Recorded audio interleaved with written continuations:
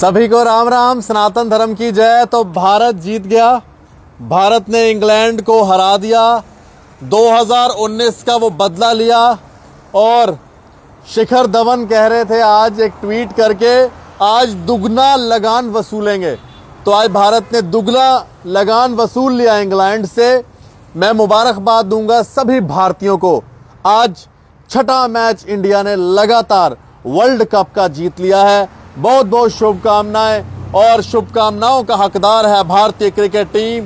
रोहित शर्मा जी, विराट कोहली, साथ में मोहम्मद शैमी और आज जितने भी लोग जिन्होंने आज अच्छा अपना करतब दिखाए बॉलिंग में, मैं बुमराह की बात कर रहा हूँ। अभी लास्ट भी बुमराह ने विकेट ली। बुमराह ने तीन विकेटें ली। मोहम्मद सिराज को इस बार विकेट नहीं मिली, लेकिन मोहम्मद सिराज को छह ओवरों में सिर्फ़ तैतीस रन पड़ा। मोहम्मद शमी ने चार विकेटें ली। बहुत ही ज़बरदस्त पारी। सात ओवरों में सिर्फ़ 22 रन। और कुलदीप यादव ने आठ ओवरों में 24 रन पड़ा, दो विकेटें ली उन्होंने। और जडेजा को एक विकेट मिली, सात ओवरों में सिर्फ़ 16 रन। भारत ने 100 रनों से आज जीत हासिल की है इंग्लैंड के खिलाफ। और आज वर्ल्ड कप की श्रृंखला में नंबर वन हो गया है हमारा भारत टीम। भारतीय टीम की जय हो, भारतीय टीम की जय हो। आज वो लोग वो लोग पता नहीं किस किस बिल में घुस जाएँगे जो पाकिस्तान के गुणगान करते हैं, पाकिस्तान के लिए खबरें बोलते हैं। आज वो पता नहीं किस बिल में घुस गए होंगे, क्योंकि भारत के लिए उनके मुँह से एक शब्द नहीं निकलेगा। आप जानते हो मैं किन की बात कर रहा हूँ? जो रोज़ाना हमारी जम्मू की धरती पर रहते हैं, जम्मू का नमक खाते हैं और गुणगान करते हैं उस पाकिस्तान का।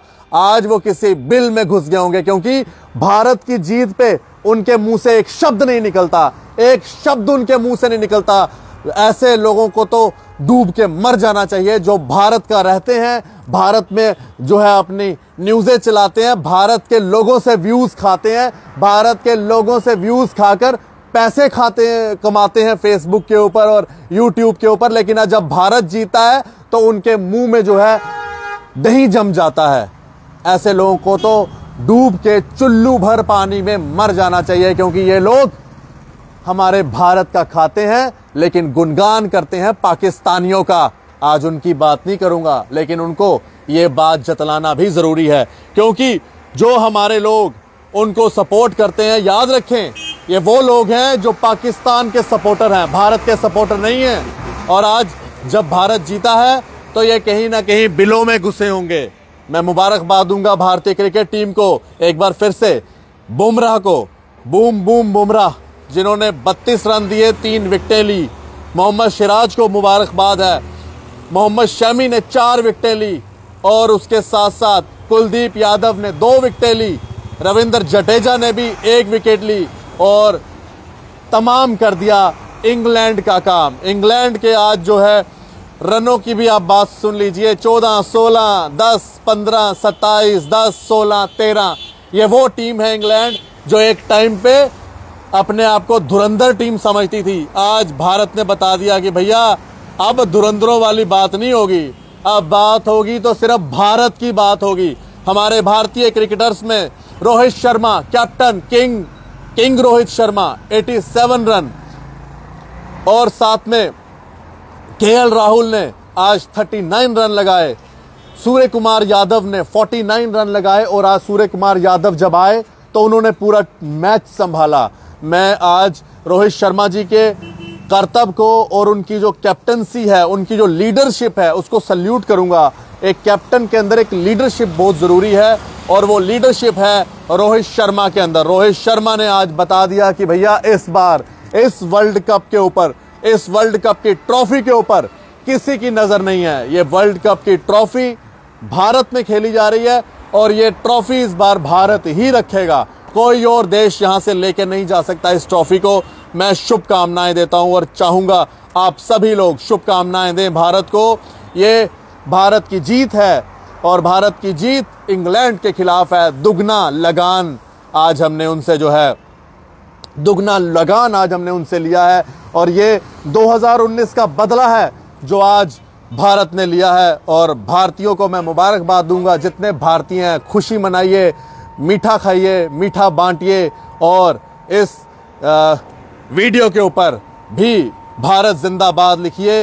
ये सिर्फ़ और सिर्फ़ भारतीयों की जीत है। जो भारत के खिलाफ लिखेगा इस वीडियो पे वो भारतीय नहीं है। वो दुश्मन है भारत का।